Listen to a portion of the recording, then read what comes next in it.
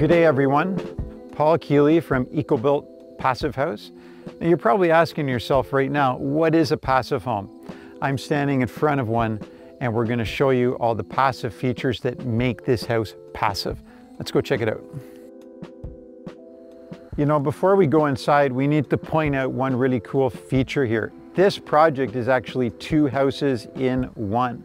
You can see there's an accessory dwelling unit attached to this side of the house. Behind all these green boards of zip sheathing, you have a secondary passive home accessory dwelling unit. Now let's really go inside and check it out. We're gonna do a quick walkthrough of the house, starting here in the living, dining, kitchen area. Immediately on my left, we have an office area. Next, we have the secondary bedroom in this two bedroom plus office house. And this bedroom has an interesting feature. Number one, it's designed accessible, so wider doorways into the bedroom, wider doorway into a connected washroom. This washroom is also connected to the main entry of the house. Walking through this entry, this actually leads to the accessory dwelling unit.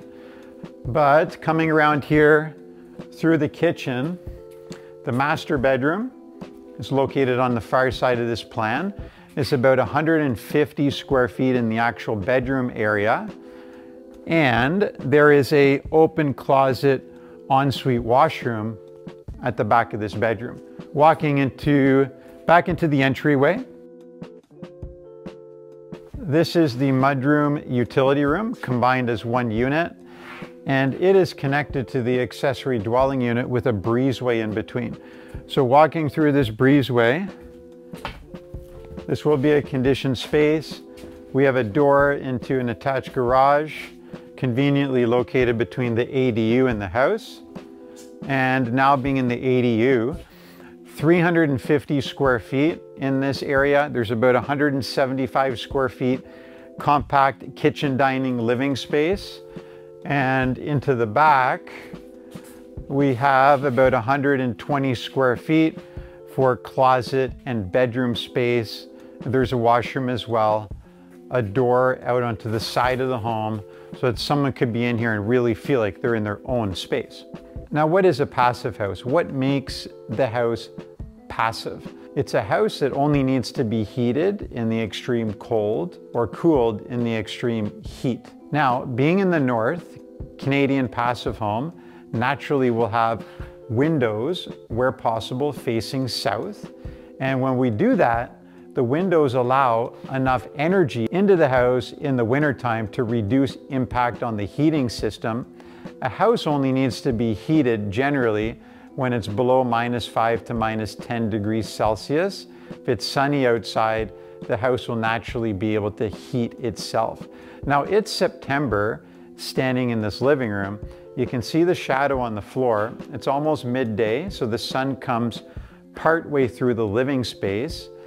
September is not the hottest time of the year. When it is the hottest time of the year, June, July, partway into August, the sun only comes in approximately one to two feet.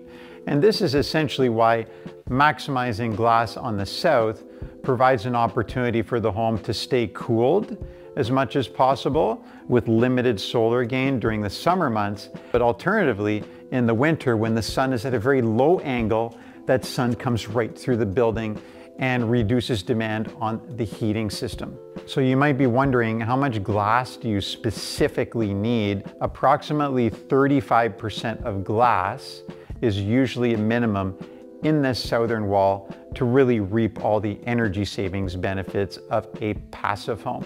Another important feature of the passive house is high performance windows and doors.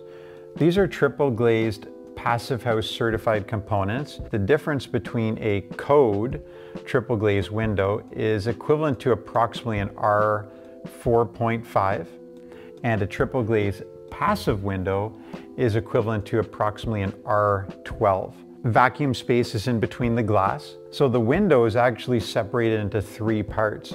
There's an interior frame, there's an exterior frame, and then there's a thermal bridge component so that there's no pathways for heat in the wintertime leaving the home or the summertime coming into the home. Did you know that most standard code triple glazed windows, the frames are not insulated? So insulated frames are a big part of the passive window. Thermal bridge free design, vacuum spaces in between the glass, and also low E coatings put on all faces of the glass themselves so that they in turn further reflect the heat energy back into the inside of the home. And all these components working together are all reasons why a heating system in a passive home doesn't necessarily operate every day of the winter, only when it's required. You might have noticed the thick ass walls, super insulated walls. This wall in particular is 20 inches thick. There's R75 insulation in the wall. This house has just been insulated.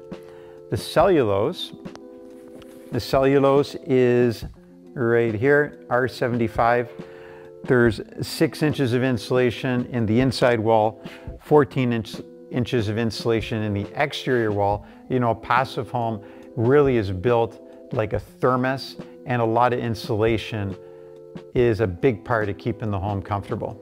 Air tightness, arguably the most important part of a passive home.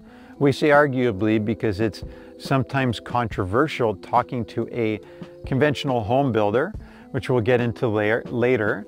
But the air barrier, behind this black house wrap, there is a fiber board, which you can see here, which is the airtight membrane. It's a structural product. It's a rigid product. Rigid products are very easy to seal with tape. This fiberboard also self-seals through all nails and screws. Also very important, you know, that this fiberboard is open permeable. Open permeable, moisture, any potential moisture that's left in the wall or the roof system from construction needs to be allowed to escape. Open permeable characteristic of that airtight membrane, you're protected if you build a passive home because it's a prerequisite for the design. So the controversy is that a house needs to breathe and it can't breathe if it's airtight. And that's simply not true. A passive house is easily able to achieve both air tightness and breathability. You know, much better that the house breathes through a mechanical fresh air machine rather than through a leaky building envelope because it keeps the home healthy, keeps toxins outside of the building, keeps moisture, damaging moisture outside of the building envelope and creating a highly oxygenated environment, not just breathability, but a healthy indoor environment easily done with a fresh air machine, which most codes require anyway. So how much insulation goes into the roof system in a passive home? First, look at the space above the windows to the ceiling on the inside of the home. Now look at the space from the window to the top of the underside of the overhang on the outside of the house. That's the entire space of the roof system. Most areas of the northern United States or Canada require approximately an R100 for low energy. And if you move south, anywhere from an R40 to an R80, depending on how close the home is to the equator, will dictate those R values. Now lastly, heat recovery ventilation. How does a passive house breathe?